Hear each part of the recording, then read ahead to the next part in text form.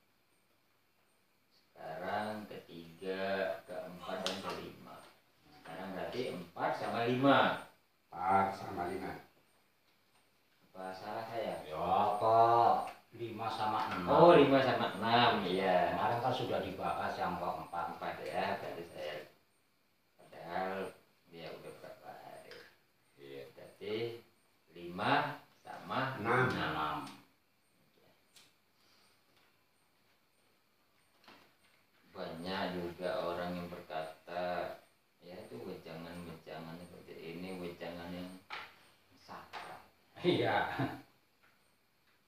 ya kalau saya sih tidak mengambil kesakralan tapi saya mengambil ilmu pengetahuan Hmm. daripada Dipa dan Kisah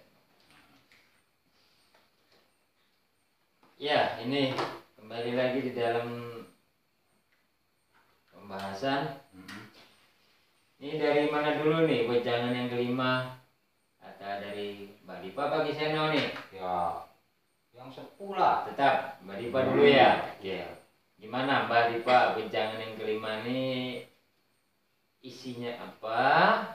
Kemarin kita terakhir mencapai Baitul Makmur. Berarti ada ada Baitul beberapa Baitul lagi kan begitu. Kira-kira isinya seperti apa menurut Mbak Dipa? Ya, tapi sing jenenge wejangan kelima kuwi pamuka tata malige ing dalem Baitul Mukarram. Sing isine diantarane sajatine ingsun anata malige ana sajroning Baitul Mukarram. Iku umah enggoning lelaraning ingsun. Jumeneng ana ing dadaing Adam kang ana sajroning dada iku ati kang ana antaraning ati iku jantung Hmm.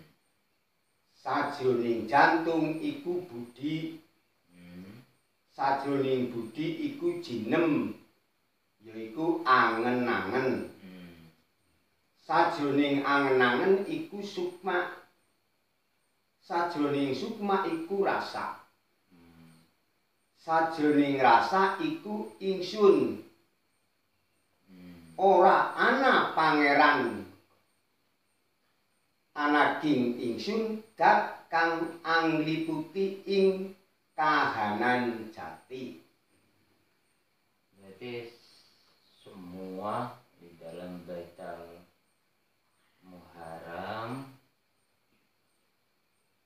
banyak beberapa lapisan-lapisan ya, agar untuk menutup hijab keberadaan Sang Ingsun atau Allah Subhanahu wa Iya iya Ta'ala. iya.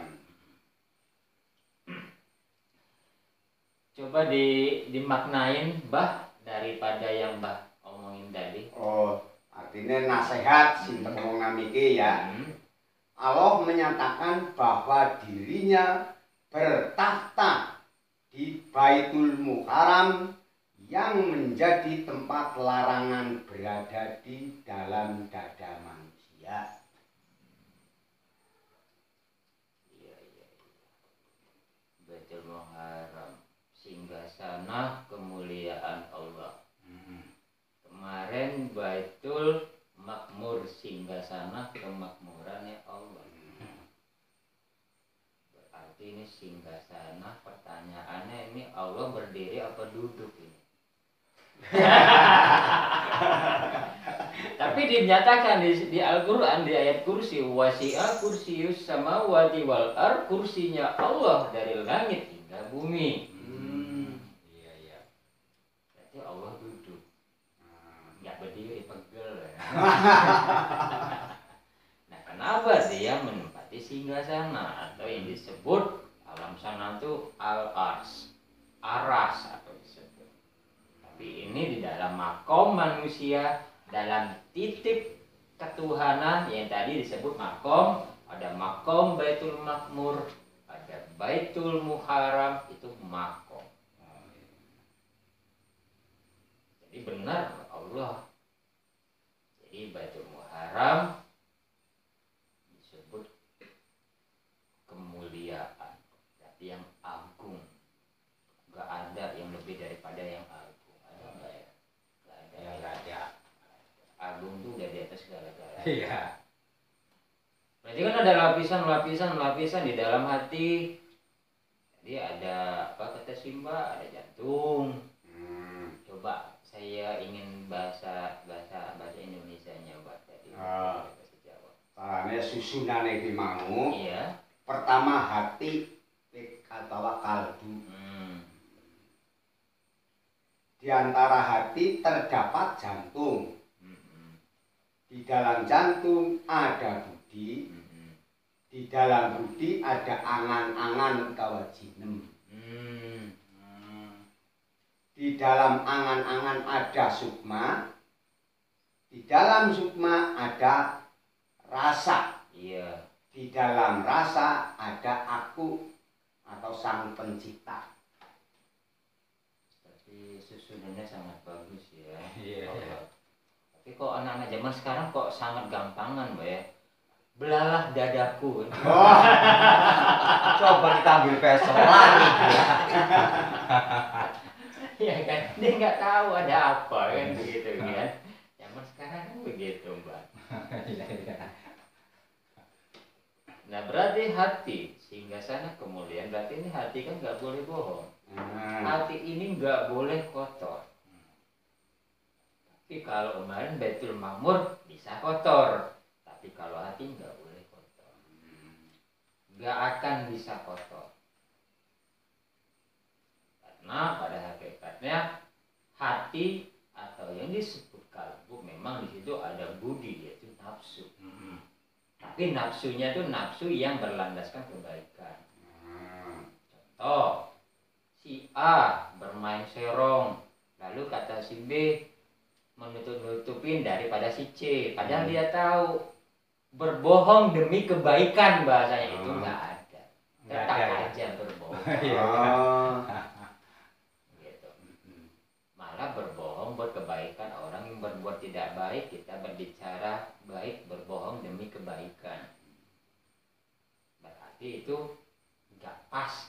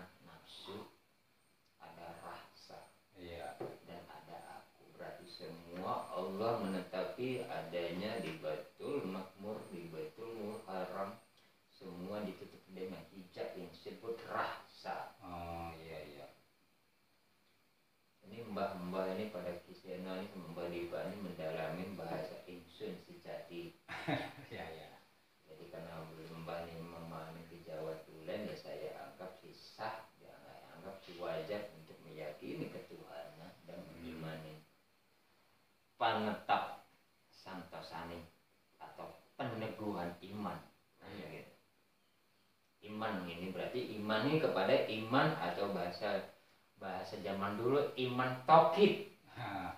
Tauhid itu iman tauhid. Oh iya iya. Kan orang-orang zaman dulu bahasanya kan nggak nggak bagus itu iman tauhid. Padahal bahasanya iman tauhid. tauhid. Nah ini bahasanya seperti ini dalam diri tiga jati. ya memang orang tanpa ada hati ya susah ya. Susah.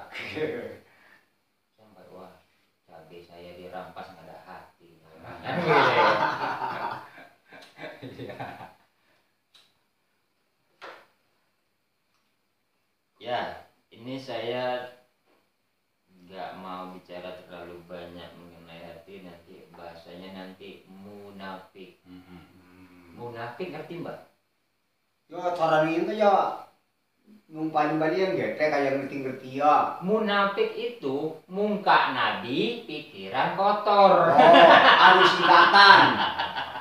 Ya, wong tua kerja itu orang munafik. Wajahnya nabi pakai sorban jidatnya kapalan. Siang perempuan pakai jilbabnya sampai tutup rapat. Tapi jiwanya kotor. Hmm. Itu disebut munafik Oh. muka nabi pikirannya kotor. Wah ini bid'ah ini bid'ah dasmu nah iya gitu mbak oke ini saya saya nggak mau bicara lebar mengenai baitul muharram. Lalu saya ingin agak berpindah ke wejangan ke enam. Enam. di Seno gimana nih mbak lagi Enggak. Bukan diam. Nah, bareng Ya, kali satu, mau satu pada muka nih Satu Iya. pada pokok lain tapi ini semua kang mingling sing mau. pada bukan ya enggak lah karena kita sering bersama. Iya iya iya iya. Terus, oke. Ya, setelah disampaikan oleh Mbak Dipa Yana wejangan yang ke lima tadi kan tinggal wejangan yang ke enam Hmm. yang mengenai pambuka tata malige ing dalem betal mukadas. Hmm. Kesucian. Iya. Iya iya. Yang isinya ini Mas Wisnu. Hmm. Sejatine ingsun anata malige ana sajroning betal mukadas. Hmm. Aku omah nggoning pasujan ingsun. Jumeneng ana ing kemaluaning Adam. Iya. Kang ana sajroning kemaluan iku prinsilan kang ana ing antaraning prinsilan iku mufah Lupa. Iya. yaiku mani Iya. sajroning mani iku Hmm. Sajroning madi iku wadi Hmm. sajroning wadi iku manikem Hmm. sajroning manikem iku rasa Hmm. sajroning rasa iku ingsun Hmm. ora ana pangeran ananging ingsun dat kang limputi ing kahanan jati jumeneng sajroning nukat gaib Hmm. Tumurun dadi johar awal Hmm. ing kono wahananing alam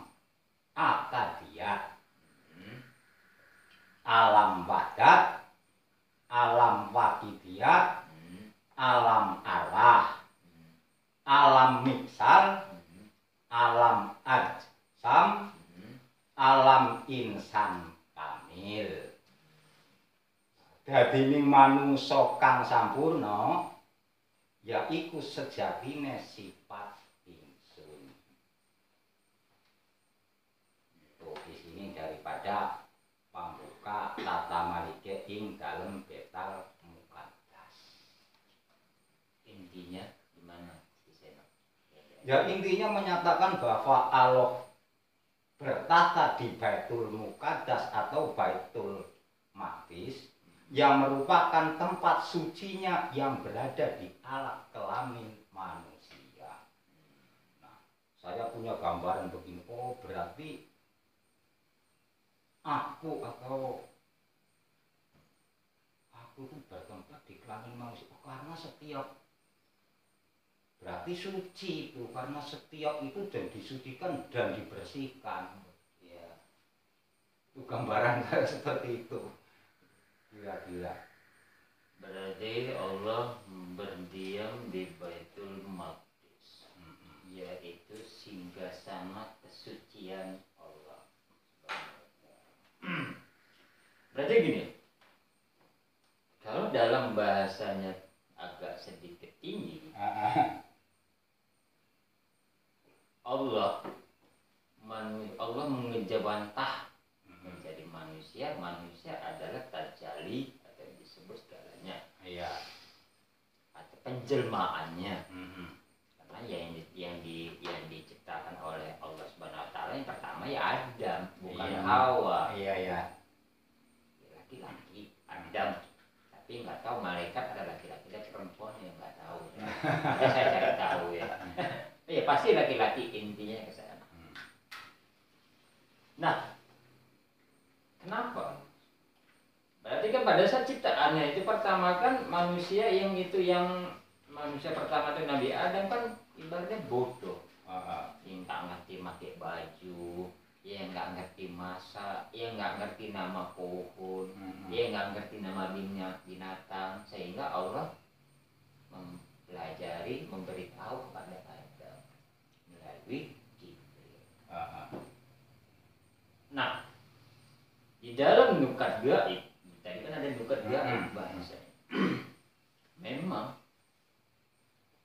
tadi di dalam al kelamin di dalam al kelamin itu adanya yaitu tadi nutfah Iya.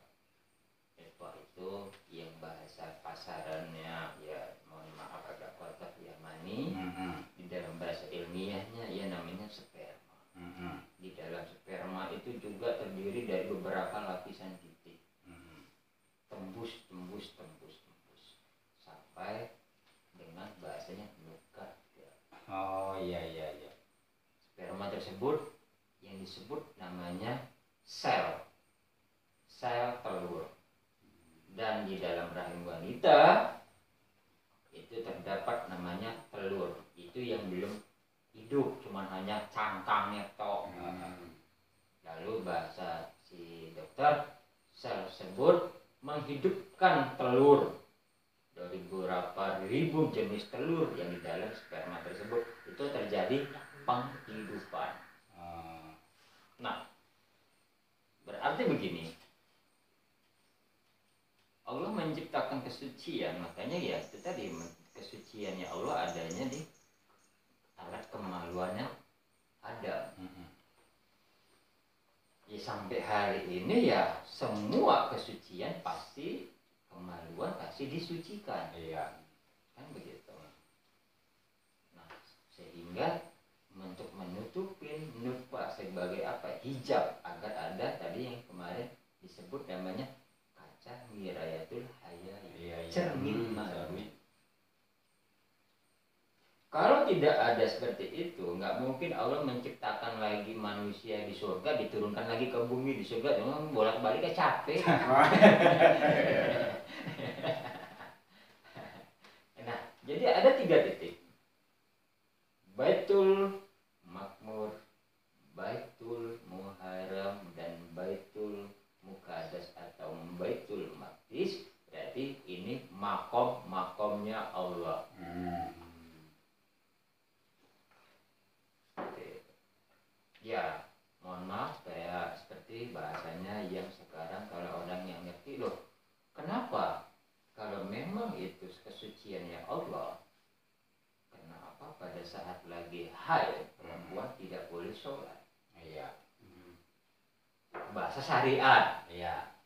Tapi kalau pakai bahasa tarekat atau bahasa marifat kenapa yang haid gak boleh sholat? Karena suci. Dia saking sucinya gak boleh sholat. Mhm. Kenapa suci? Karena dia sedang membenahi di alam rahim.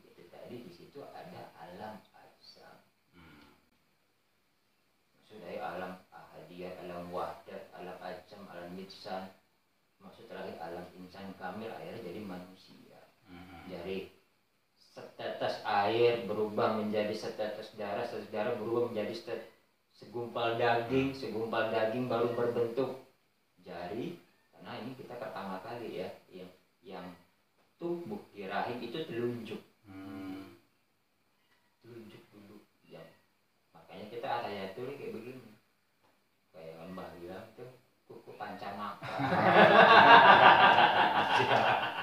Buat kudoro ya.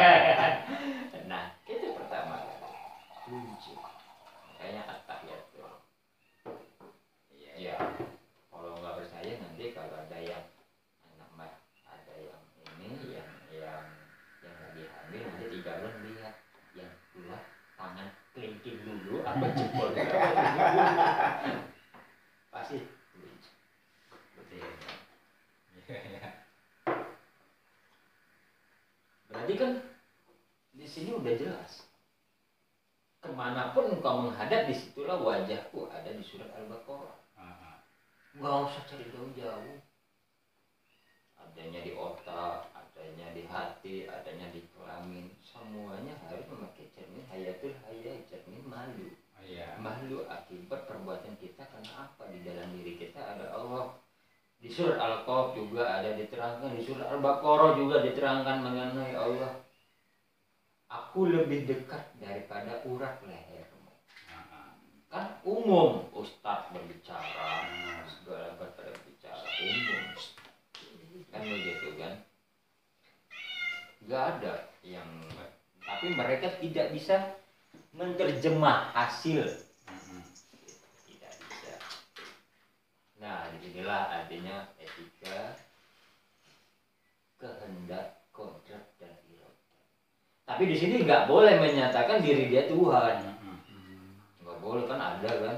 Aku Jibril. Kan ada kan? Lia Eden Jibril ya kan Iya. begitu kan? Nah, kayak kayak ada yang mengaku bisa manggil nabi. Hmm. nah itu mah belum lagi. Ya ya. Gitu.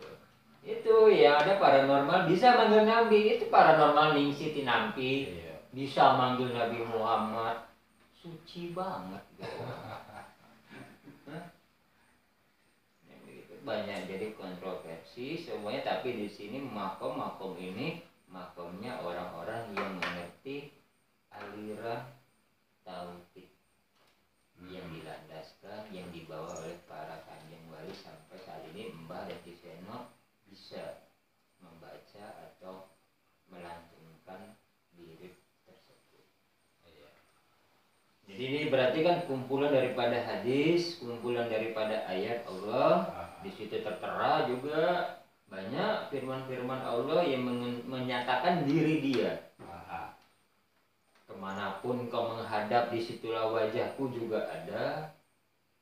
Allah lebih dekat daripada urat leher, ya ada. Semua komplit. Mhm.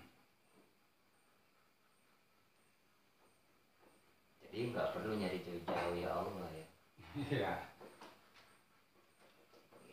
Tapi kalau orang yang nggak ngerti Allah ya repot. Iya.